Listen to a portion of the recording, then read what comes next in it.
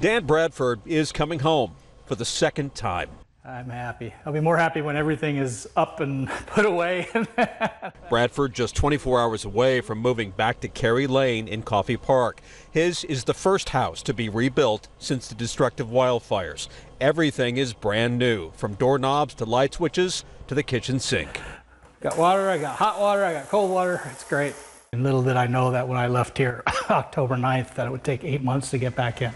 The wildfires burned thousands of homes to the ground, leaving a path of destruction for miles.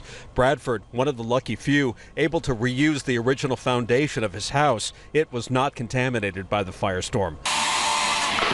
Construction started last December, but there was lots of bureaucratic red tape to navigate. So it's this big, prolonged process of getting funds in hand to pay the contractor. That's probably the most frustrating part of the whole thing because they work hard. New signs of life are everywhere. 167 homes now under construction across Santa Rosa. It is good to see. Um, it's good to see uh, not only for um, for us as uh, the fire department and firefighters who are here trying to protect these very homes, um, but for all of us collectively to to see it moving forward. This was the house Dan Bradford lost, and this is his new one. I just hope it, it continues. I hope people see it and realize, hey, we can rebuild. Welcome home, Dan.